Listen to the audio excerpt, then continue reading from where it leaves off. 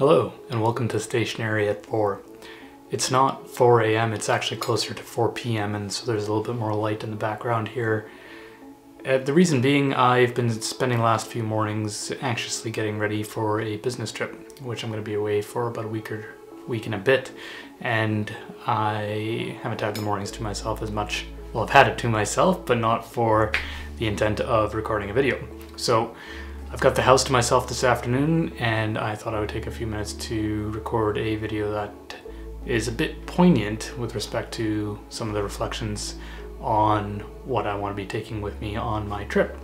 And the obvious thing here is to take stationery, of course. Uh, uh, that's something that I'm keen on bringing with me. But in particular, I want to bring my traveler's notebook. And as I was reflecting on what accessories I wanted to bring with my traveler's notebook, it occurred to me that I've already got all my favorite accessories on my traveler's notebook as it stands today and I don't really need to dial anything down or differently for the trip.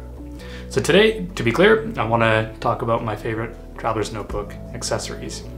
And three in particular, there's the Traveler's Company brass clip, there is the page anchor, and then the cloth zipper insert inside of the Traveler's Notebook, my Traveler's Notebook here.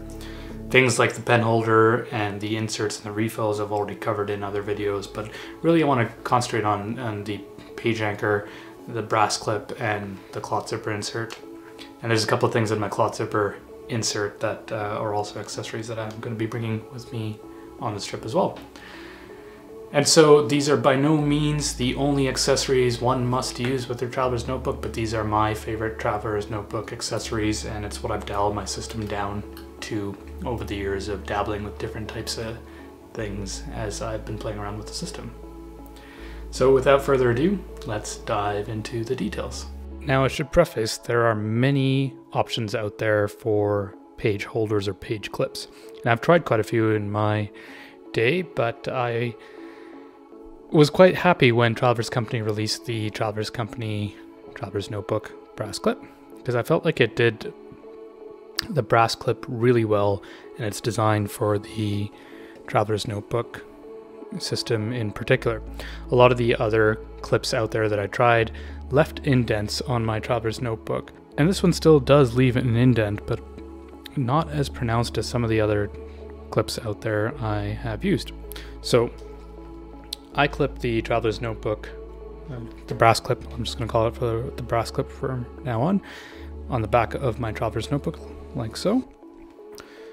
And to talk about the Traveler's clip here in particular from the Traveler's Company, there are actually two versions of the clip available out there. I own both. So this one is the, uh, I suppose, the graphic Traveler's clip, which has a picture of an airplane, and this one is just the standard writing that's included. Now, I particularly gravitate to this one just because of the aesthetic, but that's just a personal choice. Now, both of these, or each one of these, retail for 24 Canadian dollars, and they're about 1.7 inches in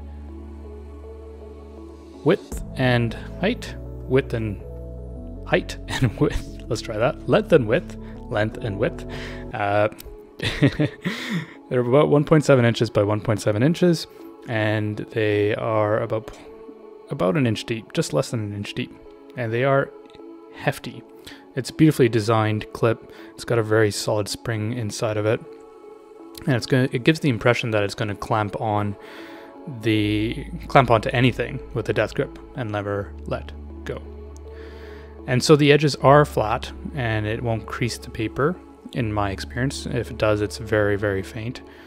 And while, like I said, it does leave a little bit of a indent, you can kind of see this line right here on the back of my traveler's notebook.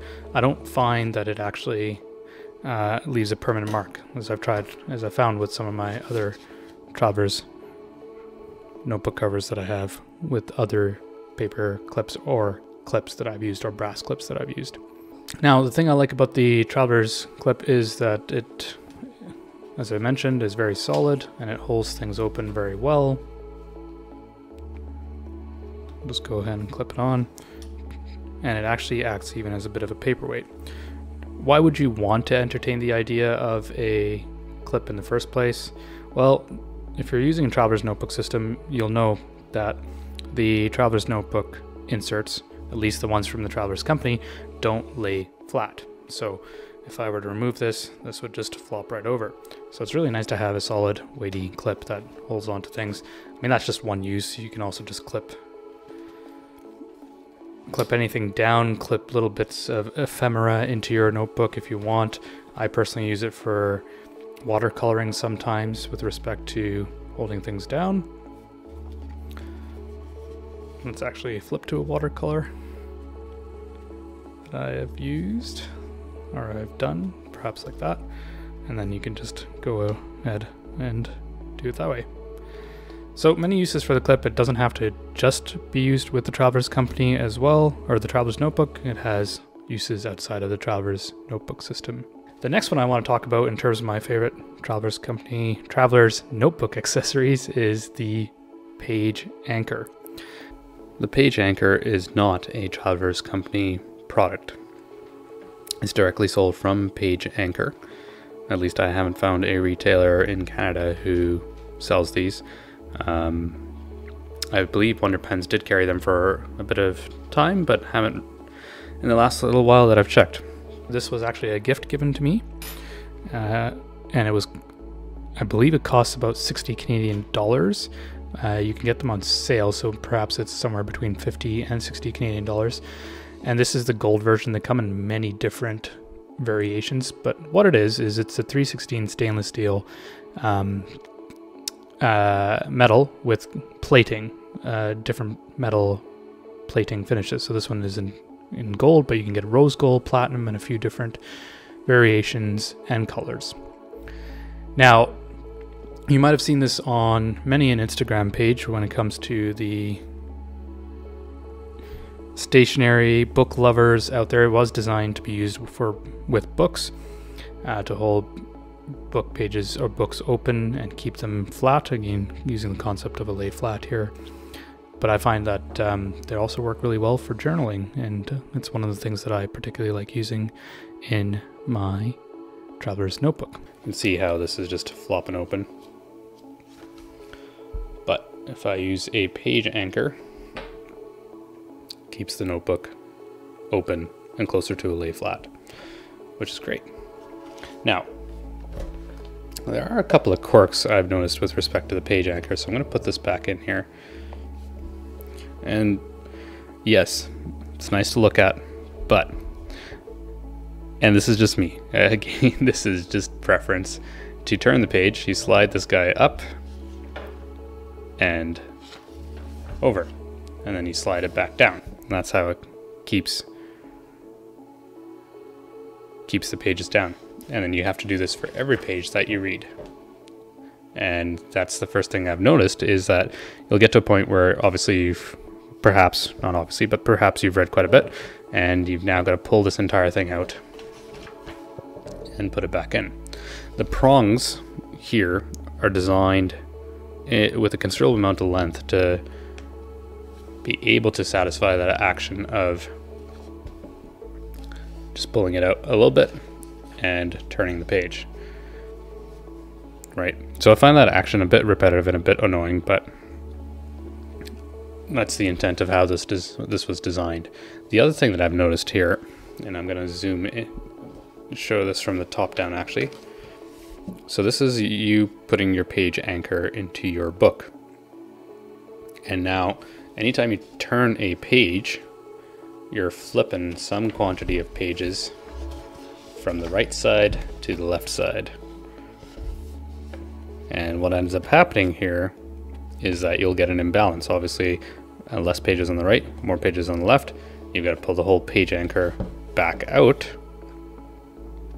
and um, put it back in. So, depending on how, how much you read or how fast you read or whatever, um, basically how many pages you're turning, you might find that uh, page anchor a little bit annoying. The other thing I've noticed is because of the design of the page anchor and how it holds the pages down with some pressure, with some pressure, And again, if you got more pages back and forth, you've just got to be a little bit careful. And what I mean by that, I'll just zoom in here, is you can see that it is creating a little line and a little bit of a permanent crease on your pages. That's not a big deal to you, I wouldn't worry about it. For me, it's kind of one of those things where it's like, well, I'm not sure I'd like that on my pristine books. And it also typically resides onto the back of my traveler's notebook. As so, right next to my clip. The last thing I want to talk about in terms of my favorite accessories is the cloth zipper insert. The cloth zipper insert here, this one is the B-Sides and Rarities collection. I'm just going to go ahead and pull it right out. So this is the cloth zipper insert.